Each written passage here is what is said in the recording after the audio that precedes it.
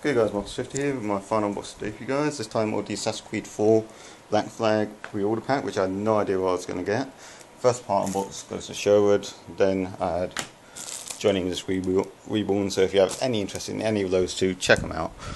But yeah, um, by the way guys, in case you have the interest, I will be doing a reaction video to The World's End trailer after this, if it is out.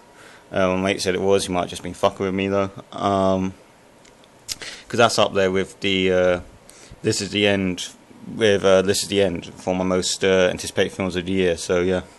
Anyways, I have no idea what the hell comes in this, but it says it's digital content, so I'm probably gonna have to cover half of it. Anyways, um, but that's a fun. Thought I'd just give you guys a look at it because I have no idea what the fuck it is anyway. It's back, side, because I pre-ordered this from Ubisoft's website uh, on PS4 as an incentive to make me want to buy a PS4. um, so yeah.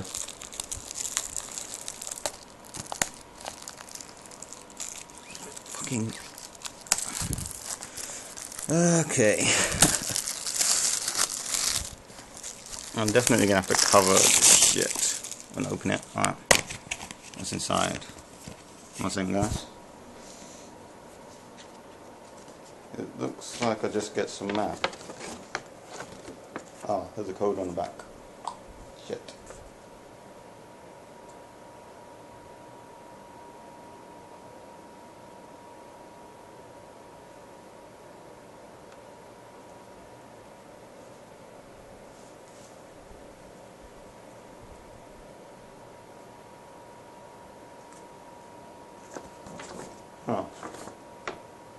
Okay, so I guess I'm going to show you front. You basically get a map.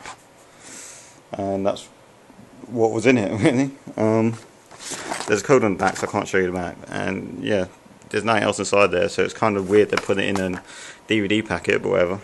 Uh, just give you a close up of it a bit. Um, yeah, so that was a very quick unboxing of Assassin's Creed 4 Black, Black Flag, uh, the pre-order pack. So I'll see you in my next unboxing, which will probably be Friday.